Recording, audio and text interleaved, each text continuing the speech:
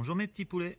Aujourd'hui, on va faire un chantier rapide sur la Panda. Alors, très rapidement, je vous la présente. Fiat Panda de 2004 avec des barres de toit. Pour nous, c'est une troisième voiture. C'est-à-dire que son utilisation, euh, c'est en gros pour faire les travaux dans la maison. Pour la conduite accompagnée de ma fille, comme ça elle peut la niquer, on s'en fout un peu. Euh, et puis aussi, ben, les jours où j'ai pas très envie de sortir la GT parce que euh, des fois il peut y avoir de la neige ou jour de tempête, eh bien, euh, du coup, je prends la Panda. Voilà, donc là on voit qu'elle. je mettre le contact. Voilà, donc là on voit qu'elle vient de finir son rodage, 234 000 km, elle est toute neuve. elle tourne comme une horloge.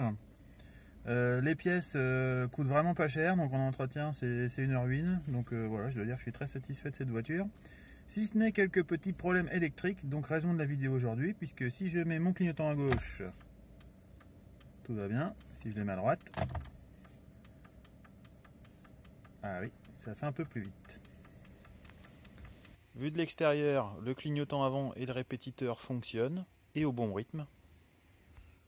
À l'arrière, par contre, que dalle.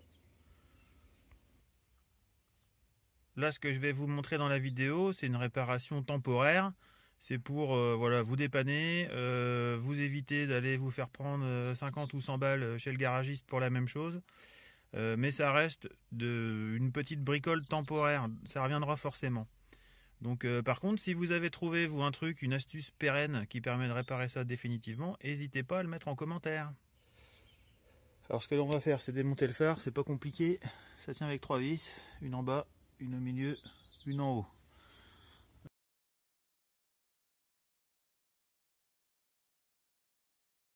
Voilà, c'est dévissé. Maintenant, il juste à tirer sur le phare. Voilà, et ça vient tout seul. Alors on voit ici un connecteur, on en reparlera tout à l'heure du connecteur. Donc on appuie sur la languette et voilà, ça s'enlève tout seul. Voilà, maintenant on a le phare en main.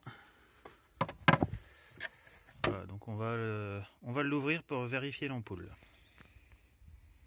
Pour avoir accès aux ampoules, il y a quatre vis à retirer. Donc celle-ci, il y en a une au fond du trou là. Bon, on la voit pas, mais elle est là. Il y en a une troisième à côté de la prise et la quatrième qui est là. Donc on va les dévisser.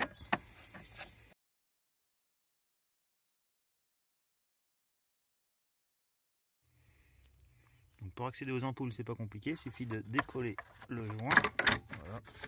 On tire dessus et ça vient tout seul. Voilà, et là, on va pouvoir vérifier l'ampoule du clignotant.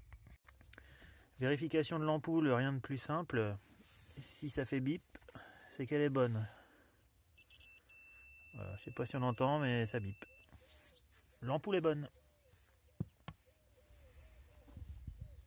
Alors, que se passe-t-il, me direz-vous Moi, je le sais déjà, mais je fais durer le suspense.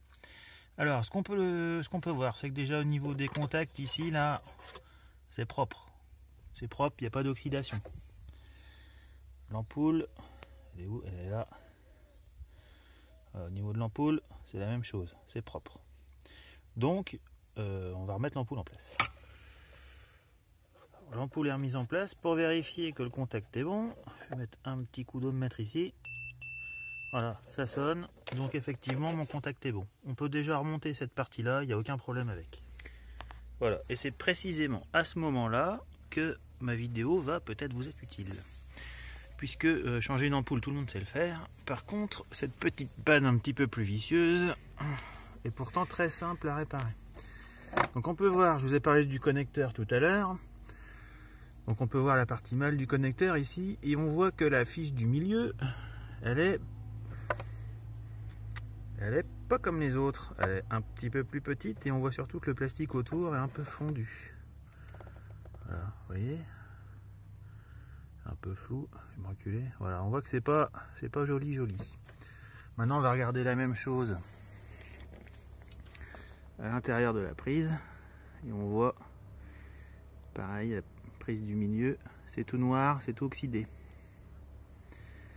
alors l'explication elle est simple les ingénieurs chez Fiat, ils se sont dit un clignotant ou une ampoule de, de phare, ça consomme 21 watts. Je dimensionne mes contacts pour 21 watts. Sauf que feu stop plus clignotant par intermittent, c'est bien on double. On double le nombre de watts, on double la puissance qui passe par là. Et on a donc un circuit qui est sous-dimensionné au niveau de la masse, puisque c'est donc le fil de masse, celui du milieu. On le voit, il est noir. Voilà, on voit pas grand chose. Voilà, il est noir. Donc on a un circuit qui est sous-dimensionné. C'est un peu la maladie sur cette voiture-là. Alors ce qu'il y a à faire, c'est tout simple. On va venir gratouiller un petit peu les contacts pour déjà remettre le métal à nu. Ici, comme là. Ok. Et puis, dans un, premier, dans un deuxième temps, on va venir essayer de euh, resserrer un petit peu les contacts. Voilà. Alors, les problèmes, ils apparaissent généralement, euh, comme c'est le cas aujourd'hui, on est un petit peu... Euh, on est en automne, le temps se rafraîchit, il fait frais, il y a de l'humidité, et c'est là que les problèmes apparaissent en général. Donc là, ce que l'on va faire, ça va permettre de réparer ça de manière temporaire. Ça réglera pas le problème définitivement. Euh, mais bon, bah, ça, vous dépannera et avec ça, vous serez reparti pour quelques mois.